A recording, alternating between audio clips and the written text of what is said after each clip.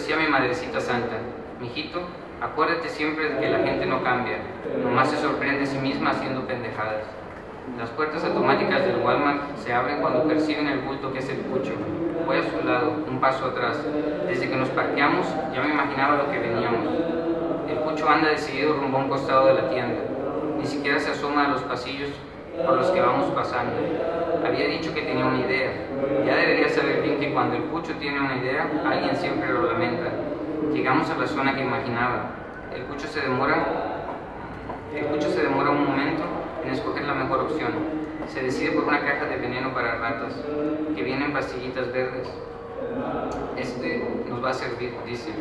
Luego cruzamos el Walmart para tomar unos paquetes de salchichas de las más gruesas. Nos llevamos dos docenas. Nos detenemos a cargar gasolina. El pucho le llena el tanque al bora. Luego nos metemos a la tienda para comer algo. Hay unos burritos que se ven bien. Me chingo dos. Una bolsa de doritos y una coca. Al pucho le caben tres burritos y un refresco. Ya estás. Ya estoy, respondo. Enciende un cigarro y arranca rumbo a la finca del Álamo. De Álamo, perdón. Enciende un cigarro. ah, enciende un cigarro y arranca rumbo a la finca del perdón. Después de la tragazón, a mí también se me antoja un tabaco. Sírvete, me dice el güey con desgana. Esta sería la voz del narco, ¿no? Sería el, el, uh, uh, el otro, el otro discurso. Y toda la novela va así, ¿no? Un discurso y... Sí, aquí también, bueno, lo que me hizo interesante también la crítica, ¿no? La crítica, bueno, al gobierno también en ese sentido y también el análisis que haces de cómo el gobierno, que desde la época de Calderón también, de cómo eh, le dio un, un sentido de ciudadano al narco, ¿no? Que en el capítulo, en la página 84, bueno, yo leo. Este es, bueno, esta es, esta es la voz del, del comerciante. Entonces dice pero el asunto siempre acaba con una de las partes queriéndose pasar de lista, balazos, gritos y muerte del más pendejo.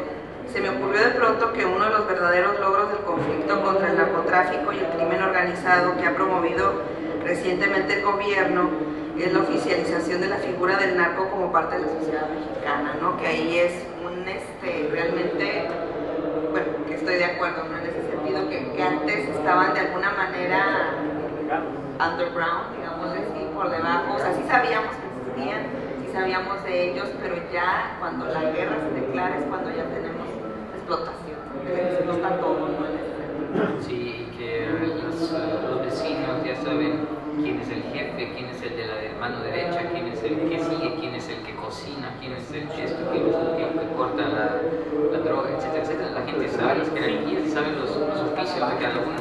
Entonces eso me parece impresionante. No era, digamos, de uno- unos, años, unos un año, dos años antes eso no se no sabía, ¿no? De alguna manera, que realmente es el día a día.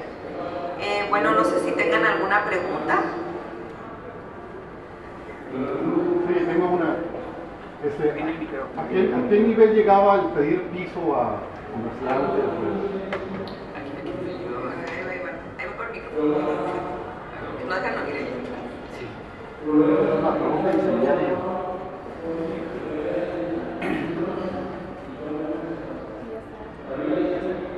Sí.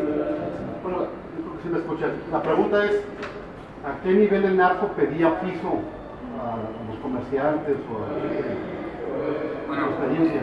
Sí, eh, igual como se dice, mi experiencia era, era depende del tipo de negocio, ¿no? Eh, si tenías eh, alcohol, si vendías alcohol, si tenías algún restaurante o tenías un bar o algo así, esos eran los primeros, ¿no? Ellos controlaban todo, bueno, controlan, supongo, la verdad no sé, eh, todo lo que es el negocio del alcohol, entonces tiene que ver con eso, ¿no? Si, si, si, eh, con el producto que manejan, ¿no?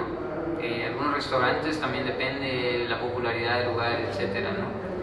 Sé que, bueno, a mi alrededor, las personas que yo conozco que tienen eh, negocios que- con un movimiento importante de dinero, todas están pagando cuota todavía. Por ejemplo, te, te puedo contar el caso de una, de una muy, muy amiga de mi mamá, muy, una señora muy amiga de la familia. Su hijo estaba con mi hermano en la escuela. Este, eh, algún momento, por alguna razón que desconoce, le levantan a su hijo se lo llevan junto con dos amigos, no piden recompensa, no piden nada.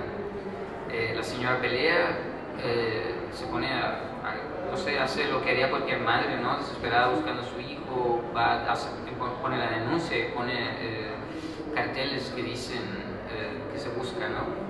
Lo que hacen esas gentes es aparecen y dicen te vas a calmar, te calmas y para que te calmes nosotros te vamos a proteger y vas a tener que pagarnos. Eso tiene ocho años ya y desde ocho años ella tiene pagando cuota para que esté tranquila. Entonces es como una especie de, ya te desapareció tu hijo, pero todavía, tengo que pagarte para estar tranquilo. Entonces, bueno, es, yo creo que también la experiencia, perdón, las circunstancias de quien, la, a lo que le toque, ¿no? Supongo. Entonces, hay algunos casos puntuales, algunas situaciones eh, a, mi, alrededor, ¿no? alrededor de mi familia, pero el control que ellos tienen, la situación, y eso, eso lo desconozco, ¿no? No, no, tengo, no tengo contactos tan adentro, ¿no?